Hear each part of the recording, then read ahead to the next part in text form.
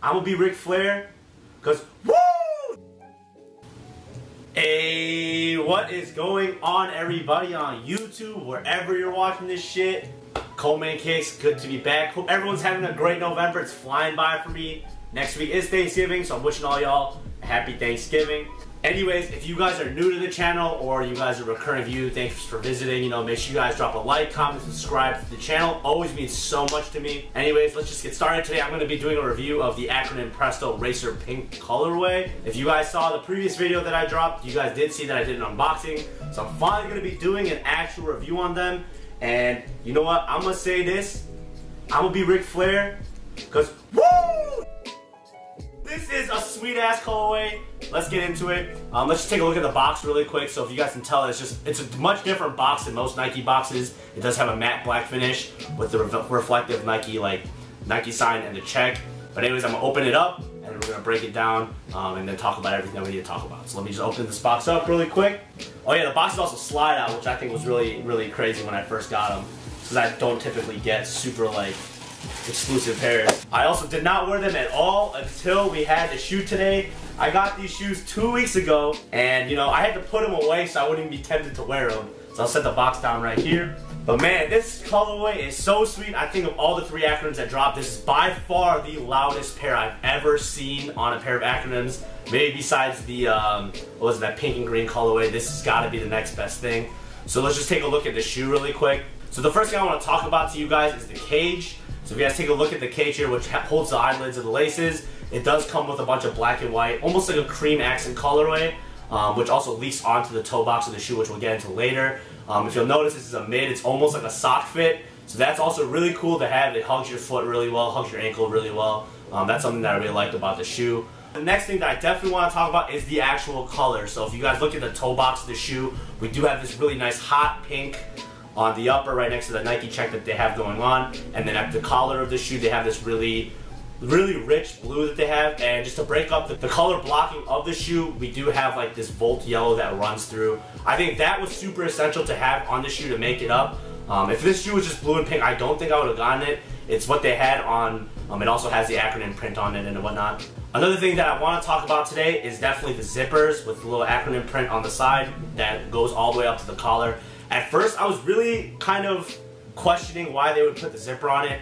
But um, after just taking a look at it and uh, looking more into it, I did find out that they were also waterproof. So that's really important to have, especially if you're living where I live. Um, Chicago weather, snows, whatever, so you need at least something to protect your shoes. The zippers also do have a lot of practicality. Um, it, it's used to kind of tighten or loosen the shoes however you want to wear them. And I think it just adds for a really, really nice just accessory to have on the shoe. If you notice at the back, of the zipper, we do have a button. You can make these little flaps flare out a little bit more. The next thing I want to talk to you guys would definitely be the laces. So I'm a big fan of Presto lacing. Um, for the, those of you guys that watched the previous video, I did say that the Presto is my all-time favorite shoe. Um, they do have like a really narrow black oval uh, lacing. So I'm really glad they kept that consistent with all the other Prestos they came out with.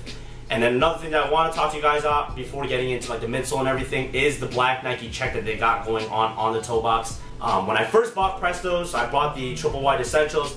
I was not a fan of this. I thought it was the stupidest shit ever. It's like, why the fuck would why the fuck would Nike put such a small check that kind of looks a little dinky?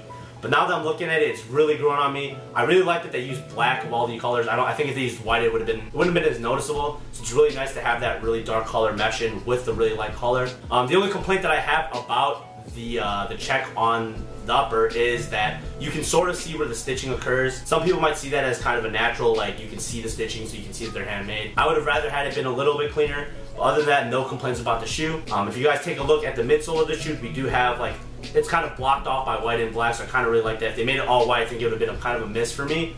Um, but they kept that consistent with the uh, essential Prestos as well. And if you take a look at the outsole of the shoe, it's very consistent with all the other essentials. Alright, so now that we've gotten the actual review out of the way, I kind of want to talk to you guys about what would look good. So I know these are super, super, super fucking loud, so you kind of gotta, you gotta kind of mix and match your outfits accordingly. Um, for me, I kind of like keeping my outfits a little bit more plain when I am wearing really loud shoes. I want my shoes to be the focal point of my outfit every single time. So naturally, you'll almost never see me wearing super bright shirts. Um, I might have designs on them, but I'll never have too many like colors interfering with the actual shoe.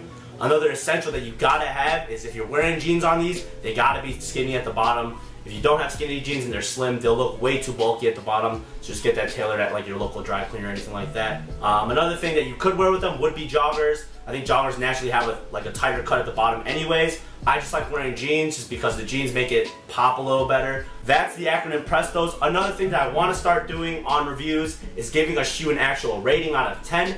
I think that's that'll be really cool for you guys to see what my taste in shoes are like. For these, man, honestly, these might have to be the pickup of the year for me so far. I know the year is ending, so I know that this is an accurate statement. This is by far the best shoe that I picked up this year, and I gotta give it out of 10. I gotta give it a solid 9.5 out of 10. I have absolutely no complaints about this shoe. I love them. I tried them on very briefly just to see how they would fit. They fit comfortably. Um, I would stick true to size with these. I got a size 9. Um, they don't go in half sizes, so I went the half size up for comfort. They are super comfortable when you're wearing them. But anyways, we're going to do a couple on-foot shots for y'all. I'll see you guys on the next video. It's good seeing you. It's been a fucking minute. Make sure you guys like, comment, subscribe like I said before. It means so much to me. And I'll see you on the next video. Later, bitch!